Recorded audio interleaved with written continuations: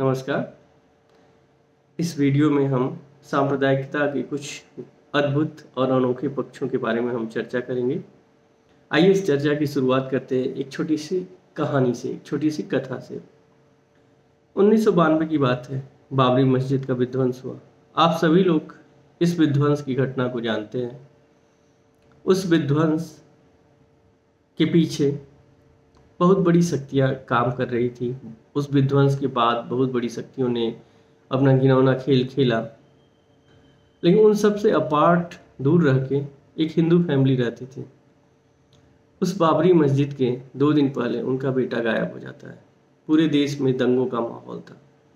चारों तरफ़ दंगा हो रहा था, लोग मारे जा रहे थे, हिंदू, मुस्लिम कम्युनिटीज़ के बीच ऐसा पाश्विक वैमनस्व आ गया था कि शायद सामान्य परिस्थितियों में उसकी कल्पना भी कोई न करे। वहीं जो अफजाल भाई और रमेश जी साथ बैठ के चाय पानी पिया करते थे, देश की गपशप और ताश के पत्ते एक साथ खेलते थे, आज एक दूसरे के खिलाफ गड़ासे लेके चले थे। और जितने गड़ासे चलते थे, उससे ज़्यादा अफवाहें चलती थी। खैर, दंगा उस हिंदू फैमिली के घर भी आ गया। बेटा तो खो ही चुका था। और इस तरह की छोटी मोटी घटनाओं से वहाँ हिंदूज बहुसंख्यक थे, उन्होंने भी मुसलमानों के खिलाफ अपना मारपीट और वगैरह जो दंगों में होता है करना शुरू कर दिया। उनके पड़ोस में एक मुस्लिम फैमिली रहती थी। उन लोगों ने अपने बेटे के खोने के बावजूद भी उसमें मुस्लिम फैमिली को शेल्टर दिया और शेल्टर देने के उपरांत उसे अपने दामाद का चाचा बताते हुए दंगाइयों से बचाया। दंगा खत्म हुआ, बाबरी मस्जिद का ध्वंस हुआ। उनका बेटा कुछ दिन बाद लौट आता है। पता चलता है कि उनका बेटा बाबरी मस्जिद गिराने वाले कुछ अहम किरदारों में से एक था और वहाँ जाके बहुत विजय ध्वनि के साथ अपनी उपलब्धियों को सुना रहा था। इस स्टोरी से दो बातें इन्फर की जाती हैं। दो बातें आप समझ सकते हैं। एक, जो हम सबको बताया जाता है कि सांप्रदायिकता या सांप्रदायिक दंगा। दो समुदायों दो धर्म के बीच एक परायेपन, एक वैमनस्यता, एक शत्रुता की भावना होती है और वो एक दूसरे के खिलाफ अपने हितों को बढ़ाने के लिए संघर्ष करते हैं, उनको खिलाफ हिंसा करते हैं। ये पूर्णतया गलत है। आप देख रहे हैं कि एक फैमिली के ही सारे सदस्यों में से कोई सांप्रदायिक पहलुओं से प्रभावित हो सकता है, कोई नहीं हो सकता है। जैसा कि इस केस में बेटा कम्युनल पावर्स के अधीन आ गया था जबकि बाकी फैमिली नहीं आई थी। दूसरा, कि common people of both communities have come to each others rescue during riots जब दंगे होते हैं तो आम लोग जो होते हैं, एक दूसरे के बचाव में भी सामने आते हैं। वहाँ सिर्फ़ पुलिस प्रशासन काफ़ी नहीं रहती। जनता ही एक दूसरे को बचाती है। तो ये एक इंटरेस्टिंग फैक्ट है। ये मान लेना कि दो कम्युनिटीज़ दो धर्म एक दूसरे के दुश्मन हैं। ये आप कहीं ना किस, कहीं किसी के पॉलिटिकल प्रोपेगेंडा या जो भी है सेकुलर इश्यूज़ को आप एक तरह से गुलाम बन जा रहे हैं उन आइडियाज़ के। तो इस वेयर्ड फैक्ट को जानते हुए कि कोई भी धर्म एक दूसरे का कभी विरोधी नहीं होता। और लोग हर दंगे में एक दूसरे का साथ देके ये दर्शा दिए हैं कि मानवता और लोगों के जीवन के सामान्य सुख सुविधाएँ ज़्यादा महत्वपूर्ण है बनस्पत किसी धर्म, संप्रदाय, समुदाय या जाति के। सेकेंड इंटरेस्टिंग फैक्ट उससे पहले भी हम आप लोगों के दिमाग पे थोड़ा सा ज़ोर डालने के लिए बोलेंगे। आप लोग याद करिए, कुछ दंगों की हाल फ़िलहाल में कहाँ कहाँ हुए? बुलंदशहर मेरठ, मऊ, सहारनपुर, मुजफ्फरपुर, मुजफ्फरनगर वगैरह वगैरह मतलब तमाम अर्बन सेंटर्स के नाम आपको याद आते हैं। जो प्रमुख नगर रहे हैं, वहीं दंगे होते हैं। ऐसा क्यों? आमतौर पे तो दर्शाया जाता है कि दंगे जो है या संप्रदायवाद जो है, दो संप्रदाय दो धर्म, दो जातियों के बीच होने वाला एक तनाव है। तो क्या ये धर्म और जातियाँ सिर्फ़ नगरों में रहती हैं? लेकिन सरप्राइजिंगली आप देखेंगे कि जो फैक्ट है, हमारे 98 परसेंट दंगे, अंठानवे प्रतिशत दंगे किसी न किसी शहर में हुए हैं या उस शहर से सटे गाँव में हुए हैं। गाँव में महज दो प्रतिशत दंगे होते हैं। और अब तो अपने क्षेत्र के अनुभवों से मैं बता सकता हूँ कि वो दो प्रतिशत दंगे भी आमतौर पर क्यों होते होंगे? इनफैक्ट कोई क्रिमिनल या पॉलिटिकल इन्फ्लुएंस रखने वाला व्यक्ति उस गाँव में बसता है और उस शहर की आइडियोलॉजी को लाकर अपने गाँव में जब इम्प्लीमेंट करने की कोशिश करता है तो दंगे होते हैं। अदरवाइज़ गाँव के रूरल और रस्टिक पीपल के अंदर टॉलरेंस बहुत ज़्यादा है, समझ बहुत ज़्यादा है। इनफैक्ट होता क्या है कि जब आपकी आर्थिक समृद्धि बढ़ती है, आपकी वैचारिक समृद्धि बढ़ती है, तब आपके अंदर ईगो अहम का भाव भी बढ़ता है साथ साथ। तब आप अपनी एक तरह से आइडेंटिटी पे किया गया किसी भी अटैक का पूरा मुँह तोड़ जवाब देने के लिए तैयार हो जाते हैं।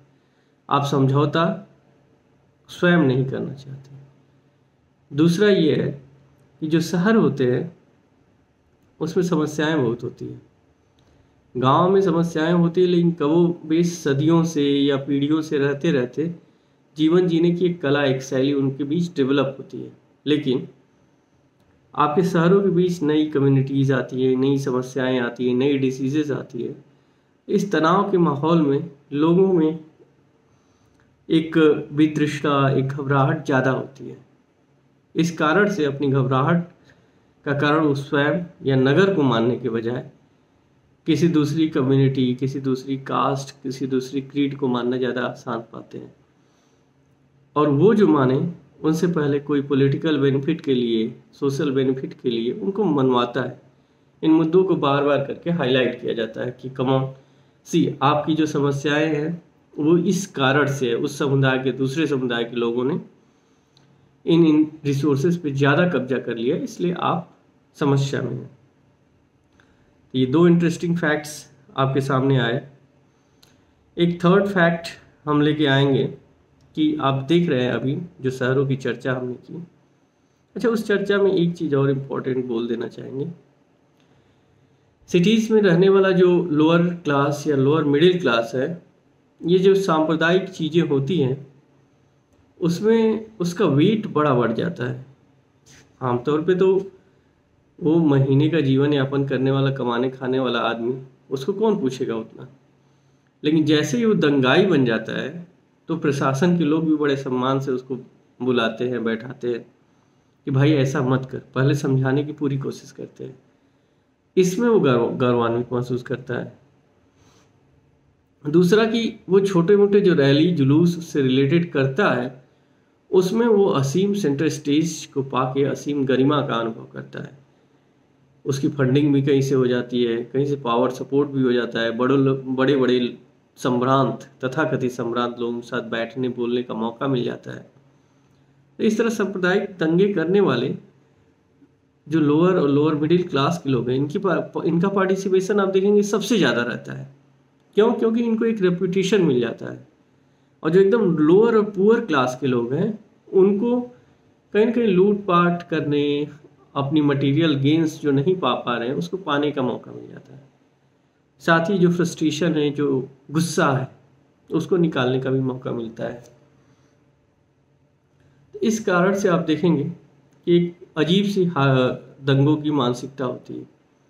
और जो एकदम अपर क्लास है, वो अपने पॉलिटिकल बेनिफिट के लिए तो बहुत सारी सांप्रदायिक बातें करता है। लेकिन कल को ये बहुत कठिन नहीं है आपके लिए देखना कि जो एक दल का कोई भी नेता जो दूसरे दल के खिलाफ सांप्रदायिक बातें कर रहा है, कल उसके बेटे की शादी में भोज गाते हुए नज़र आए। तो ये ऊपर की जो डायरकी होती है, इन विचारों में वो कभी भी सांप्रदायिकता का समर्थन, व्यवहारों में सांप्रदायिकता का समर्थन नहीं करते।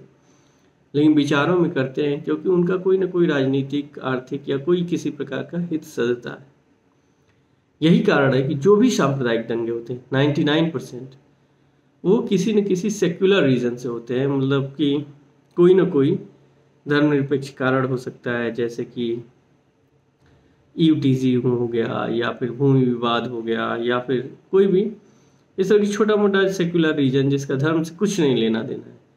लेकिन उसी समस्या को धार्मिक रूप देते हुए, धार्मिक उन्माद देते हुए आगे बढ़ा दिया जाता है। एक और इसका इम्पोर्टेंट एस्पेक्ट है कि देखिए, जो सेंस ऑफ़ एक अदरनेस होता है, एक परायपन की भावना होती है कि हमारा हित, आपके हित के अगेंस्ट है, ये जो फीलिंग होती है भावना होती है, उस भावना को एक्टिवेट जब कर दिया जाता है सोसाइटी में, तभी कम्युनलिज्म जन्म लेता है, सांप्रदायिकता जन्म लेती है। जितना भी पॉलिटिकल पार्टीज़ है, उन, जिस पार्टी के पास जितना कम आइडियोलॉजी होगा वो आइडेंटिटी पॉलिटिक्स उतना ज़्यादा खेलेगी उतना ज़्यादा सांप्रदायिकता के, के पक्ष में जाएगी। कोई भी आप देखेंगे कम्युनिस्ट पार्टी जनरली कम्युनलिज्म को नहीं सपोर्ट करेगी। लैक ऑफ़ आइडियोलॉजी हमेशा देखी जाती है जो लोग कम्युनलिज्म को प्रमोट करते हैं। एक और और लास्ट इंटरेस्टिंग पॉइंट हम आप लोगों के सामने रखेंगे कि जो हमारे नॉन रेजिडेंट इंडियंस हैं कहीं ना कहीं वो भी बहुत बड़े सपोर्टर होते हैं कम्युनलिज्म के। अब ये आपको थोड़ा समझना होगा क्यों? N R Is uprooted Indians हैं। किसी दूसरी कंट्री में, किसी दूसरी सोसाइटी में जाके वो रह रहे हैं। उस सोसाइटी में उनको हमेशा इक्वलिटी इक्वलिटी की भावना नहीं मिलेगी। हमेशा अदरनेस से देखा जाएगा। उस अदरनेस से वो निजात पाने के लिए अपनी आइडेंटिटीज़ पे ज़ोर देते हैं। उस आइडेंटिटी के लिए वो फंडिंग करते हैं। उस आइडेंटिटी को प्रमोट करने के लिए वो हर प्रकार के अपने साधन संसाधन का उपयोग करते हैं। इससे उनको एक सेटिस्फैक्शन मिलता है और कहीं ना कहीं उनका एक एजेंडा सेट होता है।